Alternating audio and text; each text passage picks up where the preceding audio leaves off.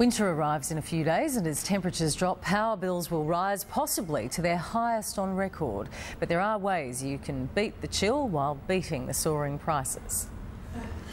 After a big bill last winter, Melissa Cadden's not only changing her energy habits, but we definitely put uh, warmer clothing on before we turn the heater on. She's switched users to save money. Based on the current bill, which was $441, we'd be saving about $330 a year. As power bills surge, electricity brokers are helping customers look for better deals. We take what we currently have and look to negotiate a far more competitive rate with a variety of retailers out there in the marketplace. Being smarter with energy use can save up to 10% on bills, such as ensuring your heater is set between 18 and 20 degrees. Instead of sleeping with it on all night, program the heater to come on shortly before you wake up.